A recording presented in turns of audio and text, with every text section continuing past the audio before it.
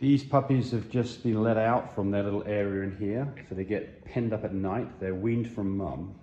We want to talk here about poop and how poop can be just a roaring pain in the butt for you and how you want to fix this problem.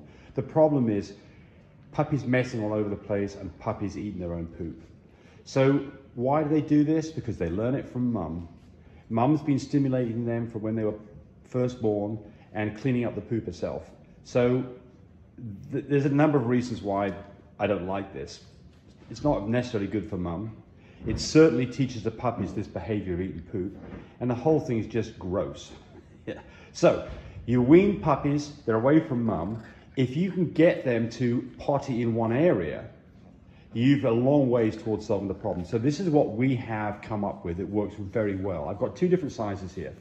So this one here is the larger one. And the whole idea behind this is, is that puppies will now poop in this one area. The poop falls through, so it's easy for us to collect the poop up. And it stops puppies from being able to eat the poop because that's what they like to do. And then we've got another one, smaller one, that goes inside when they're at night. You can see that they, you can see they missed that one area. There's a bit of poop that came down there to be cleaned up. Presumably what happened there was the puppy was actually on it and had its butt hanging over the edge and so it missed the tray. So the bigger the tray is, the less likely that's going to happen. But obviously you can't fit a very big tray inside the cage where they are. So that's why we've got this smaller one. Um, okay, so this whole thing really has made life less. Not perfect, but it's darn close to being perfect. And they will get better and better at this. I mean, they have to learn to potty in one place. And we had this system in place with mum in here as well. So for the most part, mum wasn't eating the poop up because we got to the point where puppies would go over and poop in the right area. So this gives you a better idea of it. Um, so the important points here are, in coming up with this solution, you have to make this thing solid enough that puppies aren't feeling like it's unstable.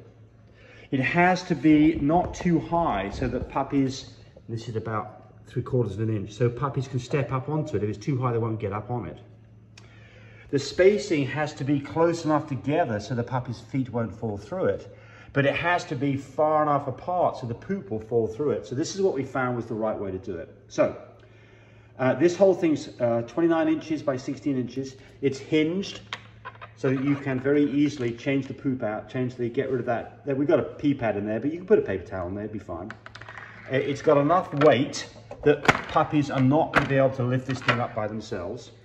It has stainless steel hinges so the puppies can't chew through it. It's vinyl coated so that it's easy to clean and it's hygienic.